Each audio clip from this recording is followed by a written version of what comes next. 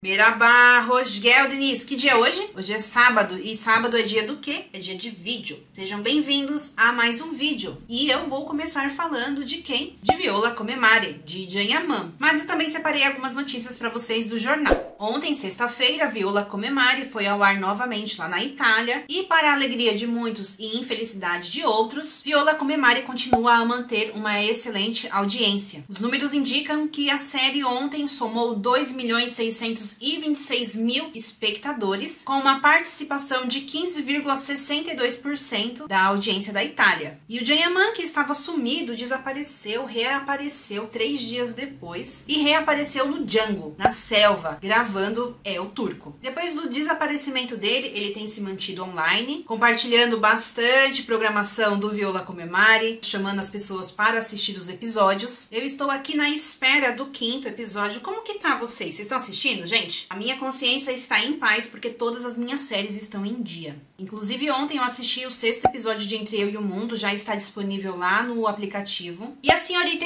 Kim está pronta para luta. O sexto episódio terminou prometendo muita coisa para o sétimo. E relembrando vocês, nós só temos só mais dois episódios de Entre Eu e o Mundo, hein? A série já já está acabando e eu não senti muita confiança da Demet se vai ter segunda temporada ou não, hein? Não senti. O que eu sei é que eu acho que a Irkin vai ter um trabalho para conquistar o coração do Kenan, hein? Não sei, teve umas trocas de olhares, tô sentindo uma aproximação, mas eu acho o Kenan muito fechado na dele. A Yukin vai ter que colocar todas as armas de sedução dela em jogo. Bom, agora eu vou trazer para vocês as notícias do jornal. Já falei do Janyaman, já falei de Viola, já falei de Demet, de Entre Eu e o Mundo. Agora vamos para as notícias do jornal. Aqui nós temos uma notícia sobre Argan, e Argan está sendo transmitida lá na Espanha e a série continua se mantendo no topo. Os espanhóis estão gostando bastante. Aqui nós temos o senhor Sancote, o Sancote bigodudo. E se vocês acharam que esse daqui faz parte da versão o Sancote casado, vocês estão enganados. Este bigodinho no qual o Sankochi se apresentou no último show dele, faz parte do novo projeto dele, de um filme que ele vai lançar em uma plataforma digital, em parceria com aquele amigo dele. Enfim, o look do Sankochi está sendo bastante comentado aqui na Turquia, mas faz parte do novo projeto dele. Até que eu não achei feio, vocês vão me criticar nessa, né? Não, é que essa foto aqui tá feia. Calma aí que tem outra. Aqui tá um pouquinho melhor, né, gente? Ó. Eu até que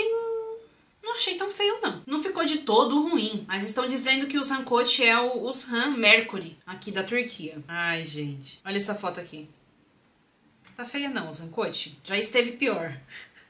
Que maldade, gente. Ai, Tia e Alpe, ainda estão falando deste casal. Que terminaram, que não terminaram. Ai, gente, não me convenceu essa história, hein? A história de academia, acho pouco provável. Mas eles continuam dizendo que crises rondam o relacionamento deles. Que Alpe estaria flertando com as meninas na academia, que contaram isso pra Aitia. Não, gente, eles estão quietinhos, mas essa história aqui não me convenceu, hein? Uh -uh. Próximo. Aqui, outro clima rondando. Jane e Aitachi. Ele foi visto em Etiler não negou, mas também não confirmou quando foi questionado sobre o seu relacionamento com a Jane. Outras pessoas também disseram que eles ainda não tinham terminado, só tinham brigado, trocaram follow, manteram as fotos. Ai, não sei, viu, gente? E aproveitando que eu falei do senhor Aitati, aproveito para dar dica para vocês de uma série dele que será lançada na Fox, no qual a Rafa Nur também faz parte do elenco, que se chama Dharma Duman. Ai, não sei se vou assistir essa não, hein? Não vou prometer. Vamos para a próxima notícia. Aqui nós temos o senhor Karen Bursin. Quem lembra quando ele estava no olho do furacão, que os paparazzis perguntavam para todo mundo o que, que as pessoas estavam achando do que ele falou? Agora chegou a vez dele. Karen foi opinar sobre a fala de uma atriz, a atriz Farazeh Inep, que disse que os atores masculinos escolhem as parceiras deles como se tivessem escolhendo bens. Aqui eles tratam a fala dela como uma fala polêmica e o Karen Bursin com certeza concordou. Ele falou que não acha legal os homens escolherem as suas parceiras e acha pior ainda as produtoras que concordam com as solicitações dos atores. Ele disse que, infelizmente, em todos os setores existem pessoas tóxicas e no meio artístico não poderia ser diferente, infelizmente.